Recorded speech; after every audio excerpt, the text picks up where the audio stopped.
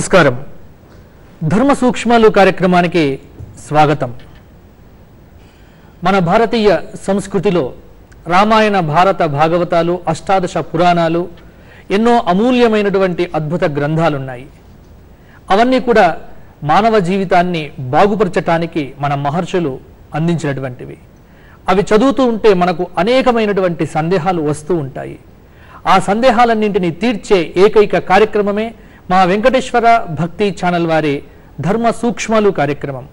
ఈనాటి ధర్మ సూక్ష్మాలు కార్యక్రమంలో పాల్గొనటానికి శృంగేరి జగద్గురు మహా సంస్థాన ఆస్థాన పండితులు తిరుమల తిరుపతి దేవస్థాన ఆస్థాన పండితులు పౌరాణిక సార్వభౌమ మహామహోపాధ్యాయ బిరుదాంకితులు బ్రహ్మశ్రీ మల్లాది చంద్రశేఖర శాస్త్రి గారు మన స్టూడియోకి వచ్చేశారు.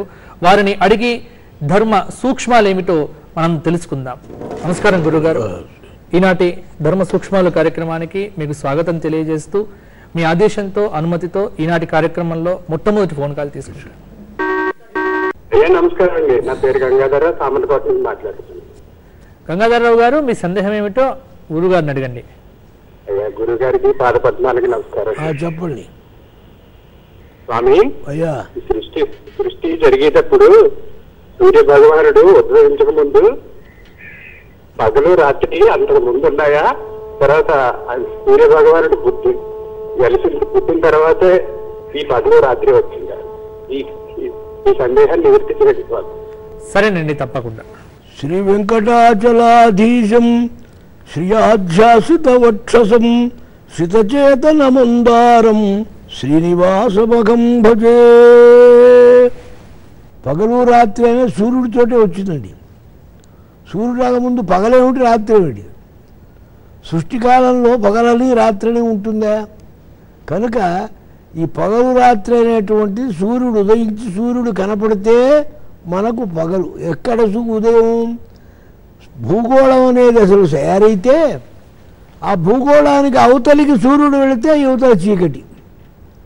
ఈ గుండ్రగా ఉంటుంది కనుక ఆ భూనట్ట తిరుగుతూ ఉంటుంది. కనుక సూర్యుడికి ముందు భూ- భూగోళం పుట్టినప్పుడు సూర్యుడు ఎక్కడ తిరుగుతాడు? కాబట్టి రా పగలు రాత్రులు తర్వాతనే పుట్టిన సూర్యుడు తర్వాతనే సూర్యుడితోటే వచ్చింది ఉదయ అస్తమానాలు. అది ప్రధానం. నమస్కారం అండి. అమ్మా జగదంబ గారు మీ సందేహం ఏమిటో అడగండి అమ్మా గురువు గారిని సార్, నమస్కారం. చెప్పమ్మా. చెప్పండి. ధర్మరాజు దోదల్లో ఓడినప్పుడు ద్రౌపదిని పరా- పరా- పరాభవించారు కానీ కౌరవులు దుర్యోధన మైసూరు ఓడినప్పుడు ద్రౌపది నవ్వులతో ఆయన అవమానం చేశారు విన్నాను.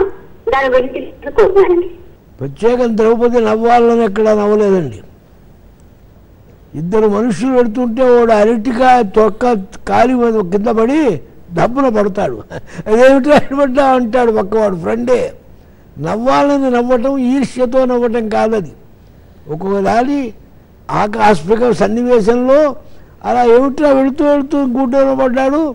అనే భావంతో నవ్వితే నవ్వచ్చు కానీ అదొక వాడు దుర్మార్గుడు కనుక వాడు ఎంచుకోవడానికి పెట్టుకున్నాడు కనుక ఇది పెద్దది చేసి చెప్పాడు ధృతరాష్ట్రుడితో. అక్కడ నవ్వటం అనేది ఏమీ ప్రధానం కాదండి. నమస్కారం అండి.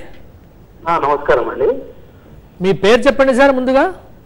నా పేరు రవికుమార్ అండి షార్నర్ మాట్లాడుతున్నాను. కుమార్ గారు మీ సందేహం ఏమిటో గురుగారిని అడగండి. గురుగారితో మాట్లాడండి. నమస్కారం. చెప్పండి. కొన్ని సంవత్సరాల కిందట ఎవరో ఒక పీఠాధిపతితో ఎవరో అని చెప్పారండి. కొన్ని శివలింగ వందల సంఖ్యలో వేల సంఖ్యలో పూజ చేసి అందరికి పంచాలని చెప్పి ఒక అంగుళం పొడుగున్నాయి అంతే అండి. అయితే ఆ, అయ్యగారికి ఎవరికో ఇచ్చారు ఒక ఐదారికి ఇంకా తెచ్చిన వాళ్ళకి అన్నారట. అయితే అందులో వెళ్ళి నాకు ఒకటి వచ్చింది శివలింగము. ఆ, ఇది కూడా చాలా సంవత్సరాలు అవుతుంది. అయితే ఇన్ని దినాల నుంచి నేను అంత గమనించలేదండి. ఈ మధ్యలో చూస్తే శివలింగం అడుగు భాగంలో ఒక రంధ్రం ఏర్పడింది. అయితే అది ఇచ్చినప్పటి నుంచి అలాగే ఉందా? ఈ మధ్యలో అట్లా అయిందా? అసలు అది భిన్నమైనదిగా భావించాలా లేకపోతే తయారీ అలా అయిందా? తెలియదు. అది మనకు ఈ గుళ్ళలో శివలింగం ఉంటుంది కదండి సేమ్ అదే ఆకృతి అండి. ఒక ఆంగ్లం పరిధి ఉంది. అదేమిటండి? అది రాయా లోహమా?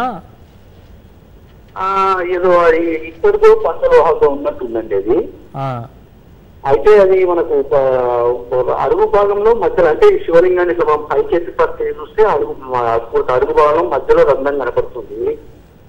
అయితే ఈ తయారీ ఎలా ఉందా మన భిన్నమైనదిగా పాలించాలా అది కొంచెం తెలుపండి. ఎన్నాళ్ళ నుంచి ఉందండి మీ దగ్గర? ఎన్ని సంవత్సరాల నుంచి ఉంది మీ దగ్గర? నా దగ్గర ఒక బహుశా ఒక ఆరేడు సంవత్సరాలు ఉండొచ్చండి అప్పటి నుంచి చూడలేదా మీరు? నేనేమో అంత గమనించలేదు అనుకుంటాను స్వామి. ఈ మధ్యలోనే చూశాను మొన్న కాబట్టి. మధ్యలో పడ్డది కాదండి మొదటి నుంచి ఉండే ఉంటుంది. విగ్రహాలు కానీ మన ఇంట్లో ఉండే దేవుని ఫోటోలు కానీ భిన్నమైనట్టుంటే అవి నదిలో నిమజ్జనం చేయాలంటూ ఉంటారు. మనము నదికి వెళ్ళినప్పుడు మనము ఈత రాదు ఒకవేళ ఎవరు ఎవరు లేకపోతే మనం మెట్లు దిగేంత స్థాయిలో ఎంతవరకు దిగొచ్చు అంతవరకు దిగగలిగి మనం దాన్ని నీళ్ళల్లో వదిలిపెడితే అదే రూట్లో ఇంకొక కొంతమంది నది మీద చాలా మంది వస్తుంటారు కదండి. ఇంకో అడుగు మనకన్నా ఒక రెండు అడుగులు లోపలికి పోయే వాళ్ళు ఉంటారు. వాళ్ళ కాళ్ళ వస్తే మన దోషం కింద అవుతుంది కదా అది. మీ సందేహం ఏమిటో అర్థమైంది. గురుగారి ద్వారా పరిష్కారం తెలుసుకుందాం. నమస్కారం. మీకు నీళ్ళల్లో అర్పించడం అంటే భిన్నమైనప్పుడు పూజించలేక అర్పిస్తున్నారు. అది అర్పిస్తే నీళ్ళలో లోతుగా వెళ్ళేట్టు పడేయండి. ఆ తర్వాత ఎవడు తొక్కాడు ఎట్లా అయింది మీకెందుకు? మీ దగ్గరికి వచ్చే ముందు లింగం ఎంతమంది తొక్కారు? అవన్నీ మనకు అక్కర్లేదు. మీరు వదిలిపెట్టండి వారు ఎవరు తొక్కుతారేమో తొక్కుతారేమో అనుకుంటే అసలు ఎట్ట వేస్తారు? నీళ్ళలో తొక్కరు ఇదేం రోడ్డు కాదుగా? నీళ్ళలో తొక్కాలని ఎవరు తొక్కరు. ఒకవేళ తొక్కితే వాళ్ళు వాళ్ళ ఇది వాళ్ళ ప్రార్థం వాళ్ళది. అయినా రాయిగా కనపడినప్పుడు తొక్కితే ఏం దానివల్ల ఇబ్బంది ఏం లేదు. సర్వస్వ భగవంతుడు. కనుక లింగంగా పూజించేటప్పుడు ప్రాణప్రతిష్ఠ చేసి ఆరాధించినప్పుడే అది లింగం. అవతల వారేస్తే అది ఏంలే ఒట్టి రాయే. కాబట్టి ఆ దృష్టి పెట్టుకోండి. అది ఎవరికో తొక్కుతుంటూ భిన్నమైతే ఎట్లో వేయటమే. అంతకంటే ఏం లేదు. నమస్కారం అండి. నమస్కారం స్వామి సంతోష్ కుమార్ శాస్త్రి. నేను జయకుమార్ మహారాజు హైదరాబాద్ నుంచి మాట్లాడాను స్వామి. జయకుమార్ గారు మీ సందేహం ఏమిటో గురుగారిని అడగండి. గురువు గారి పాత నమస్కారం. నమస్కారం చెప్పండి.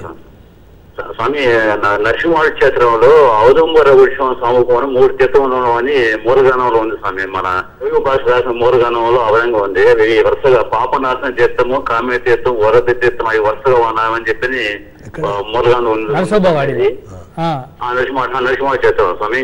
అది మామూలుగా ఇక్కడ వీరు చెప్పింది ఏమన్నా మన వాసవన్ సరస్వతి సంస్కృత నవలో వాళ్ళు చెప్పింది ఏంటంటే ఔదంబరం వృక్షం ముందు ఒక తీర్థం ఉందని ఆ కుడి భాగంలో ఉండే తీర్థం పాపనాశనం తీర్థమని ఎడమ భాగంలో ఉండే తీర్థము ఒక- తీర్థం ఉందని చెప్పని సంస్కృత గ్రంథంలో ఉందని చెప్పని మరొక సాధువు ఒక సంస్కృతం పారాయణ చేసి ఒక సాధువు చెప్పారు స్వామి.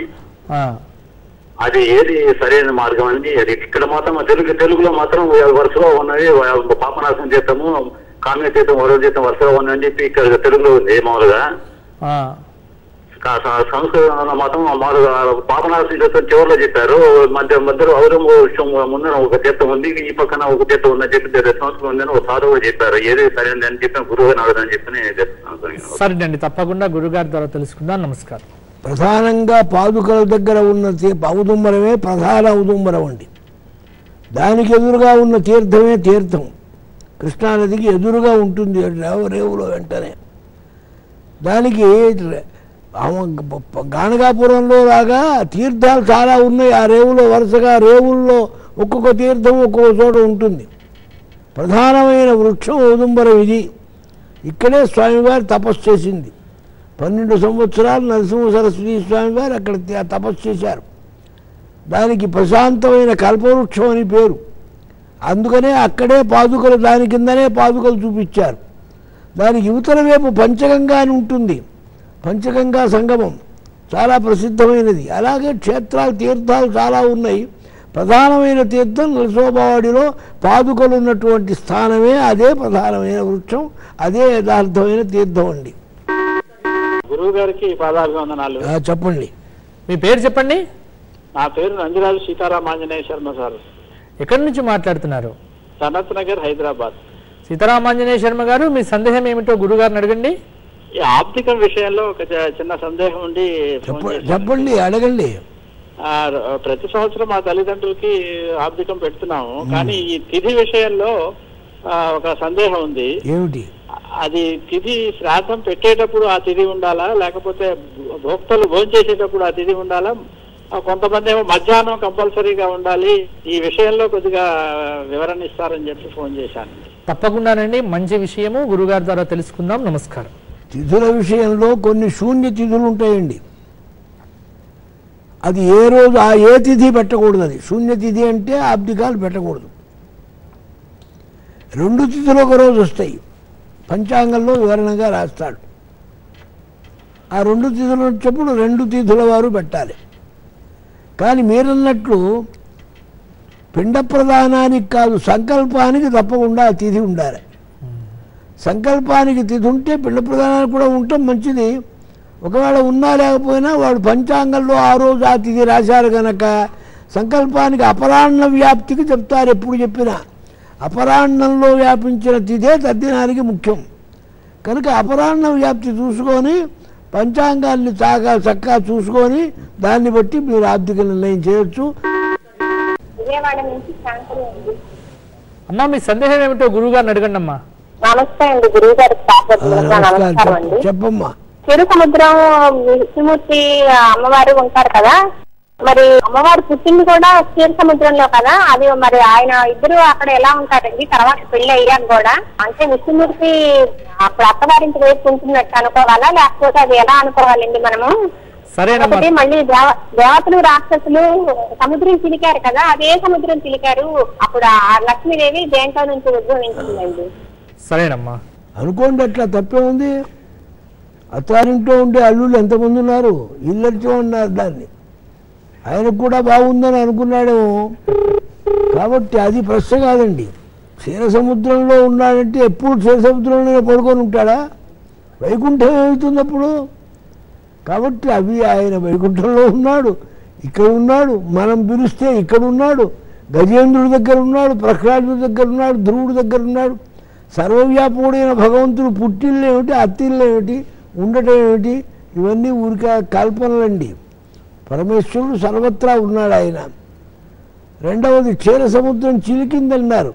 క్షీర సముద్రం అనేది పాల వంటి తెల్లగా ఉన్న సముద్రం. దాన్ని క్షీర సముద్రంలోనే తీకారు. ఇతర సముద్రం కాదు అది మరొక ఫోన్ కాల్ తీసుకుందాం. హలో? హలో నమస్కారం శాస్త్రి గారు. నమస్కారం అండి మీ పేరు చెప్పండి సార్? నా పేరు బొడ్డుపల్లి జగన్నాథ శర్మ. ఖమ్మం నుంచి మాట్లాడుతున్నాను సార్. జగన్నాథ శర్మ గారు మీ సందేహం ఏమిటో గురువు గారిని అడగండి సార్. గురువు గారితో మాట్లాడండి. ఆ గురువు గారి పాదపద్మాలకు నమస్కారం అండి. చెప్పండి. లేదు చిన్న విషయం అండి. దేవాలయాల్లో మకర తోరణం ఉంటుంది చూడండి. ఆ, ఆ మకర తోరణం మధ్యలో ఒక రాక్షసుడి శిరస్సు ఉంటుంది. ఆ శిరస్సు ఏమిటి ఎవరిది దేనికి అక్కడ అట్లా పెట్టారో తెలుసుకుందామని సార్. సరేనండి తప్పకుండా తెలుసుకుందాం. నమస్కారం. మకర తోరణంలో అదొక ఆకారం పెడతారు. దానికి మనకు దృష్టి దోషం తీయటానికి పరమాత్మ యొక్క సేవకు లాంఛనంగా ఉండేటట్లు అంతకంటే ఇంకా లోతు కావాలంటే మీరు ఆగమ శాస్త్ర ప్రకారం చూడాలి. నమస్కారం అండి. నమస్కారం అండి. మీ పేరు చెప్పండి? నా పేరు కిరణ్ మయ్యి అండి. ఎక్కడి నుండి మాట్లాడుతున్నారు కిరణ్మయ్య గారు? మాది హైదరాబాద్ అండి. కిరణ్మయ్య గారు మీ సందేహం ఏమిటో గురువు గారిని అడగండి అమ్మా హా. మాట్లాడండి గురువు గారితో నమస్కారం గురువు ఆ, గారు నమస్కారం అమ్మా చెప్పు. గురువు గారు మేము ఆవుల్ని పెంచుకున్నామండి యాక్చువల్గా అంటే ఒక ఆవు దూడ. ఆ, వాటిని దానం ఇచ్చాము. ఇచ్చిన వాటి మీద అభిమానం కొద్దీ ఇంకా ఇంట్లోనే ఉంచుకున్నాము. ఇబ్బంది ఉండదు కదండి? దానం ఇచ్చి మీ ఇంట్లో ఉంచుకున్నారు. ఆ దానం ఇచ్చాము. కానీ ఇంకా వాళ్ళకి పంపించలేదు. వాటి మీద అభిమానం కొద్దీ వదలలేక ఇంకా ఇంట్లోనే ఉన్నాయి ప్రస్తుతానికి. ఒక పదిహేను ఇరవై రోజులు అయిందండి దానం ఇచ్చా దానం ఇచ్చి ఆ దానం ఇచ్చి సరేనమ్మా మరి దాని మరి అదేమిటో గురుగారి ద్వారా తెలుసుకుందాం. నమస్కారం అమ్మా. మీరు వెంటనే దానం ఇచ్చినప్పుడు వాళ్ళ వెంట పంపించేసేయాలండి. అవి ఉంచుకోకూడదు. కనుక పది పదిహేను రోజులు అన్నారు కనుక వాళ్ళ సౌకర్యం మీ సౌకర్యాన్ని బట్టి ఇచ్చినా దానికి కొంత ధనం వేరే ముట్ట చెప్పి ఆ అవును ఇప్పటికైనా పంపించేసేయండి. ఏడాది గ్రాసం ఇచ్చి పంపించాలి ఎప్పుడు ఇచ్చినా. అది గుర్తుపెట్టుకోండి. దానికి కావలసిన గడ్డి గాదం తవుడు చుట్టూ ఏది కావాలో దానికి తగినటువంటి ఇది కొంత డబ్బంటూ ఇచ్చి దాన్ని తొందరగా వాళ్ళ ఇంటికి పంపించేసేయండి. నమస్కారం అండి. నమస్కారం అండి సంతోష్ కుమార్ గారు. నా పేరు లక్ష్మి అండి. హైదరాబాద్ నుంచి మాట్లాడుతున్నాను. లక్ష్మి గారు మీ సందేహం ఏమిటో అడగండి గురువు గారిని. గురుగారికి నమస్కారాలండి. నమస్కారం చెప్పమ్మా. నేను శ్రీరామనామాన్ని రాస్తున్నానండి. పూర్తయిన పుస్తకాల్ని తెలిసిన వాళ్ళ ద్వారా లేదా కొరియర్లో భద్రాచలంలో శ్రీరామ శ్రీరాముల వారికి అందజేస్తున్నానండి. అలా పంపించటం కాకుండా స్వయంగా వెళ్ళి ఇవ్వాలని తెలిసిన వాళ్ళు అన్నారనమాట ఆ, నాకు స్వయంగా వెళ్ళడానికి అవకాశం కుదరట్లేదండి. ఎందువల్ల. దీని గురించి మీరు చెప్తారని చెప్పి. అంటే స్వయంగా వెళ్ళడం కుదరట్లేదు కాబట్టి పోస్ట్లో పంపిస్తున్నాము. అది ఎంతవరకు పోస్ట్లో కానీ లేదా తెలిసిన వాళ్ళ ద్వారా కూడా పంపిస్తున్నానండి. అది అది సరైన పద్ధతేనా అని గురువు గారిని సరేనమ్మా సరైన పద్ధత కాదా? గురుగారి ద్వారా తెలుసుకుందాం. నమస్తే. మీరు సొంతంగా కావాలని రాశారు కనుక మీకు ఎప్పుడు వీలైతే అప్పుడు మీరే పని చేసుకొని వెళ్ళి స్వామి పాదాల దగ్గర అర్పించి అర్చన చేయించి వదిలిపెట్టాలి. అంతేగాని పోస్ట్లో ఎవరి చేతనో పంపించడం ఉత్తరం ఇది ఏమన్నా బట్టాడా చేయటానికి? రాముడు ఉంటేగా అక్కడ మీరు పట్టుకోవడానికి? కాబట్టి మీరు అది పద్ధతి కాదు న్యాయం వారు అన్నమాట నిజమే. తీసుకెళ్ళి మీరు స్వయంగా ఇవాళ కాకపోతే రేపు మీ వసతిని బట్టి చూసుకొని ప్రత్యేకంగా అది ఓ పని అనుకొని పుస్తకాలు తీసుకెళ్ళి మీరు ఇవ్వండి. నమస్కారం అండి. ఆ, నమస్కారం బాబు. ఎక్కడి నుండి మాట్లాడుతున్నారు? మీ పేరు చెప్పండి.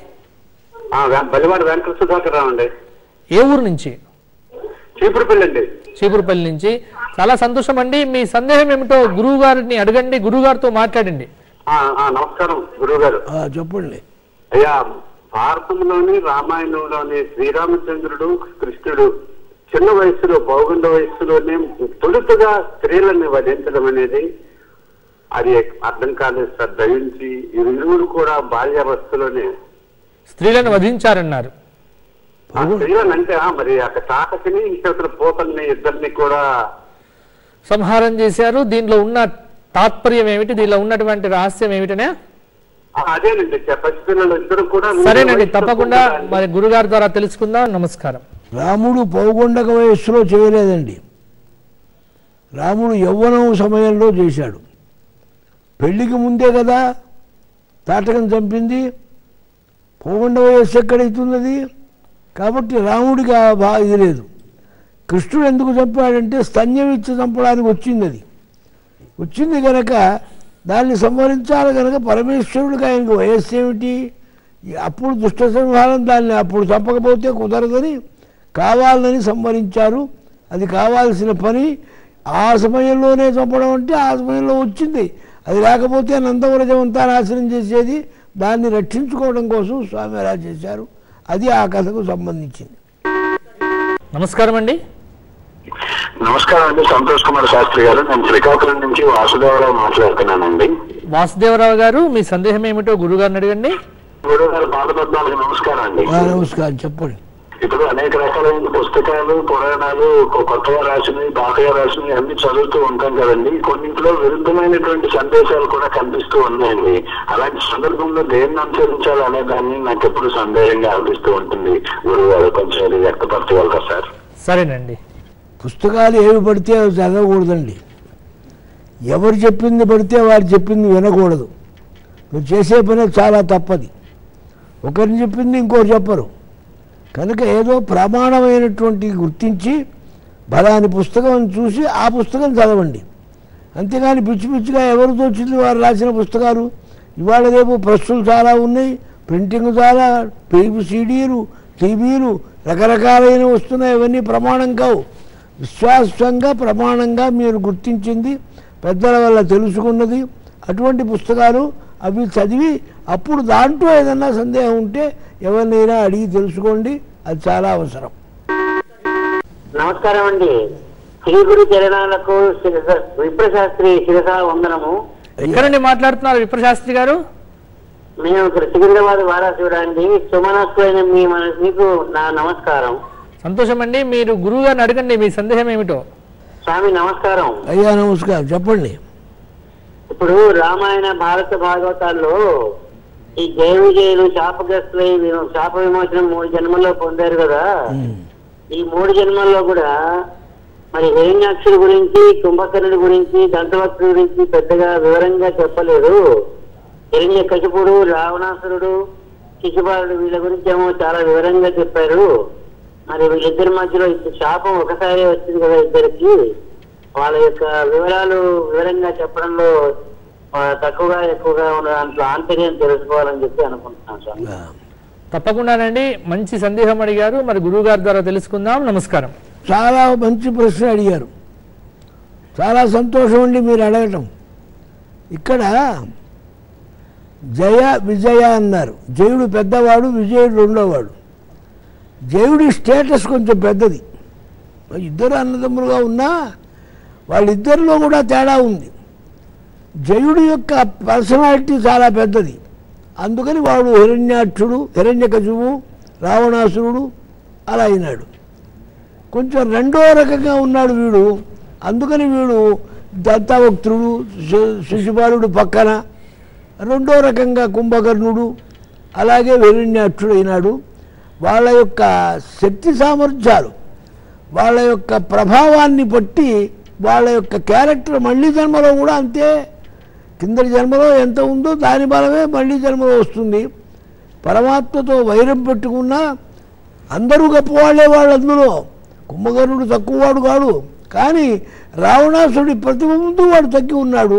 అట్లాగే వాళ్ళ యొక్క జయ విజయంలో జయుడి యొక్క ప్రతాపం ఎక్కువగా చూపించడానికి కారణం వాడి ప్రత్యేక పర్సనాలిటీ శక్తి అనేవాళ్ళు గురుగారు ఈరోజు మా ప్రేక్షకులు ఎన్నో చక్కటి రామాయణ భారత భాగవత ఇతిహాస పురాణాలకు సంబంధించినటువంటి అనేకమైనటువంటి సందేహాలు అడిగారు. వాటికి సప్రమాణంగా శాస్త్రబద్ధంగా ఎన్నో ఘట్టాలను ఉటంకిస్తూ మీరు అద్భుతంగా సమాధానాలు చెప్పినందుకు మా వెంకటేశ్వర భక్తి ఛానల్ ప్రేక్షక మహాశైల పక్షాన మీకు హృదయపూర్వక పాదాభివందనములు. శ్రీకాంతాయ కళ్యాణ నిధయే నిధయర్ధినాం. శ్రీవేంకట నివాసాయ శ్రీనివాసాయ మంగళం.